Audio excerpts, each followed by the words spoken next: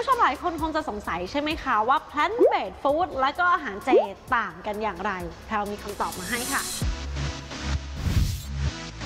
มาไขข้อสงสัยกันค่ะว่า plant based food และอาหารเจต่างกันอย่างไร plant based food เป็นอาหารที่ทำมาจากพืชเป็นหลัก เช่นถั่วเหลือง เห็ดประมาณร้อยละ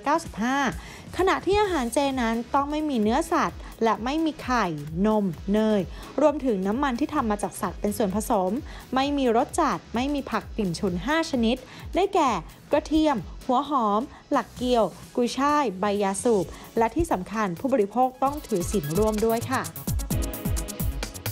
ขอบคุณที่รับชมรายการเกษตรนิวเจนนะคะ อย่าลืมกด subscribe กดกระดิ่ง กดไลค์และกดแชร์ ในทุกช่องทางออนไลน์ของ TNN ช่อง 16 ด้วยค่ะ เพื่อไม่พลาดรับชมรายการสดและคลิปวิดีโออื่นที่น่าสนใจอีกมากมายเลยค่ะ